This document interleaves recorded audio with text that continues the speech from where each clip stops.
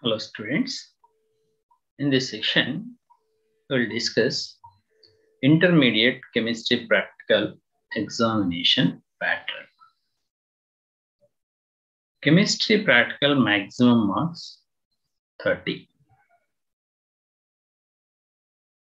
In lab, the three experiments are there, salt analysis, volumetric, and organic part.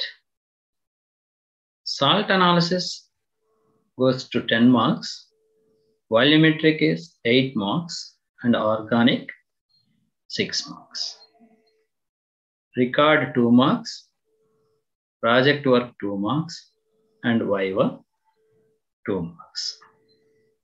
So salt, volumetric, and organic three parts, experimental part. Here, the 20, the first one, how to take the salt analysis. 24 salts are there. These 24 salts are water soluble salts. All are simple salts. Simple salts means that can contain only one cation and one anion. One cation and one anion is present. These cation and anions, how to identify? Cations and anions, how to identify? So by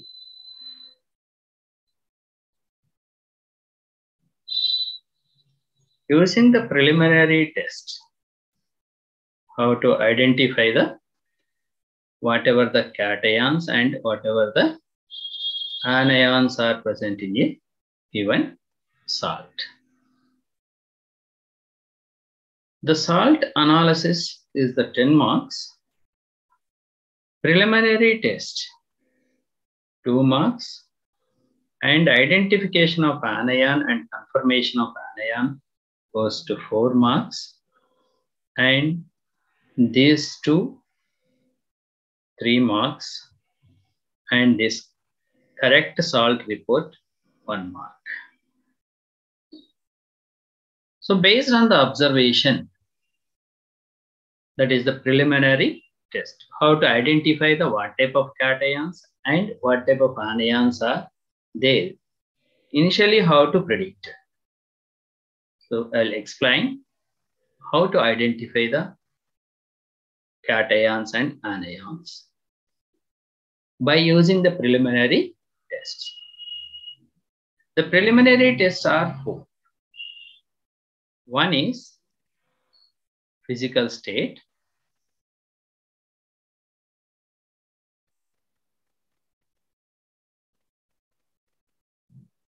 And the second one is color.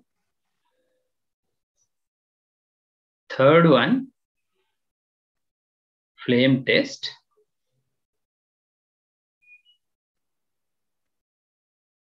And the fourth one is action of heat.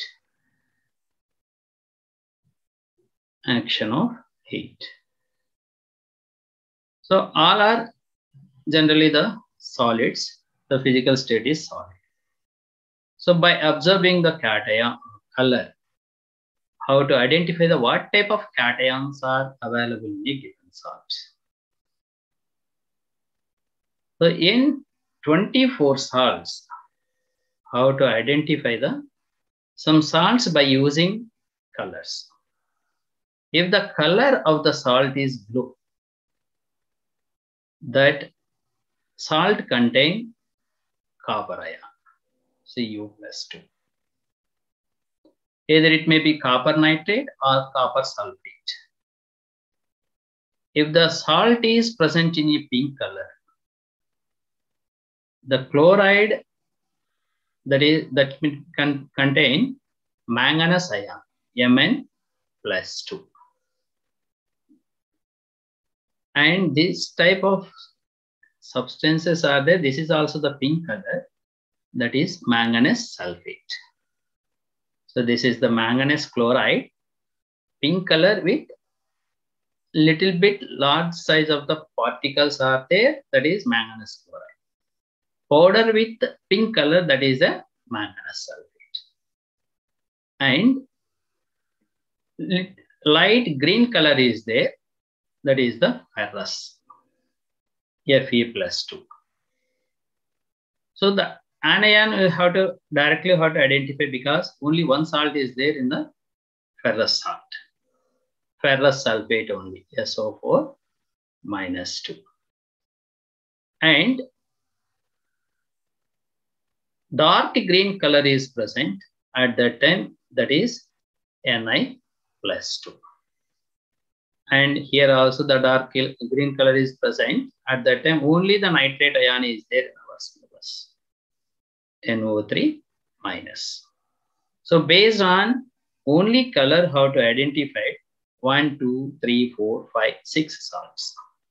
So in 24, how to identify the 6 salts by using color. At the same thing, when how to take the flame test and action of heat. The remaining salts is also how to predict it. By using the flame test, whatever the salt is there, that salt how to taken into the watch glass. For that one, how to add the hydrochloric acid and paste. That paste how to put into the flame. You are getting the bluish green color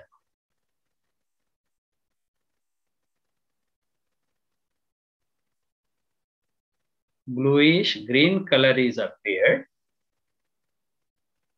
that indicates uh, the given salt contain copper plus 2.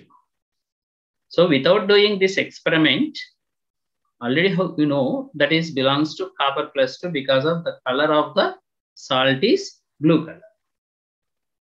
And the next one,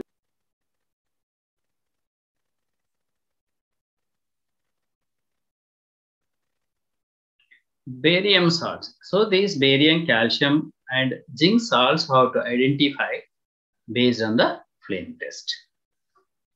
If you are getting the apple green color,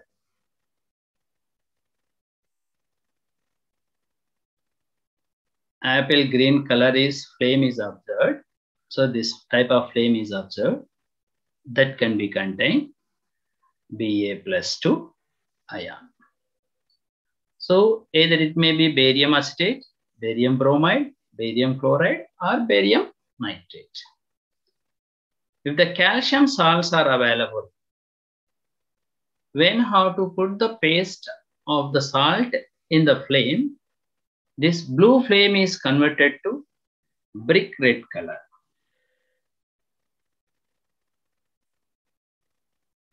Brick red color is appeared, the flame, that flame that flame indicates that the given salts contain calcium ion. All these are the colorless. All are white color, but that gives the flame test. Either brick red color is obtained, either it may be calcium chloride and calcium nitrate. Calcium carbonate, calcium sulfate salts are not there in the syllabus. Here, the flame gives crimson red color.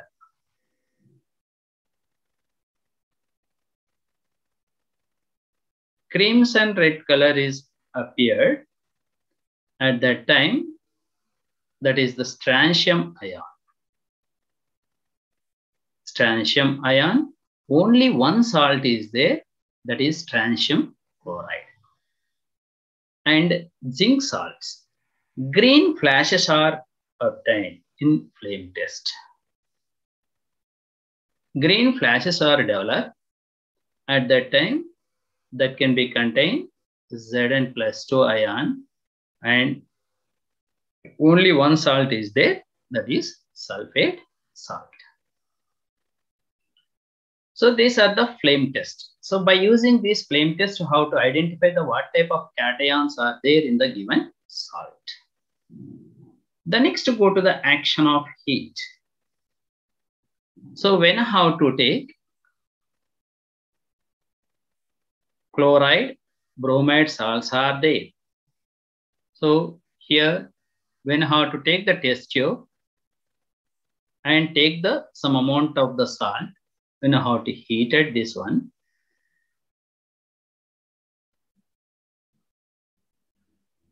Sublimation is occurred. So this is sublimation. Here the salt is there. The salt uh, evaporated. Sublimation means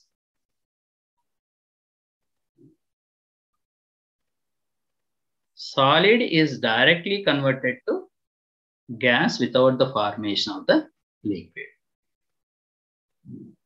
Ammonium chloride, ammon only ammonium bromide are sublimated. But these are not sublimated. This gives the ammonia smell. Ammonia smell is observed. If the ammonia smell is observed, that indicates that either it may be ammonium sulfate, ammonium acetate, or ammonium carbonate. If the sublimation is occurred, that may be either ammonium chloride or ammonium bromide. So based on this sublimation, how to identify cation as well as anion. Sublimation is occurred, either it may be ammonium chloride or ammonium bromide. Ammonia smell is observed, either ammonium sulfate, ammonium acetate, and ammonium carbonate. And the next one,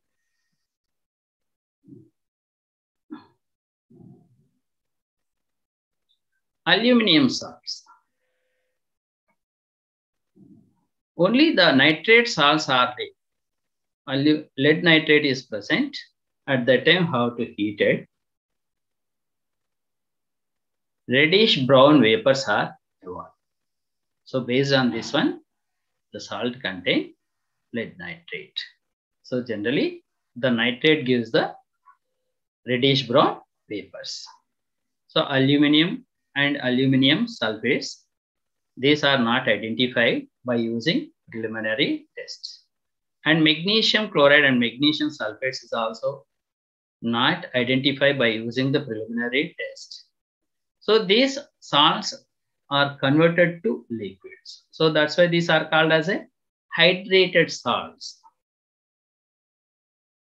Hydrated salts. These salts are considered as a hydrated salts. So in next video, we will discuss identification and confirmation of anions. For getting of more videos, please subscribe my channel. Thank you.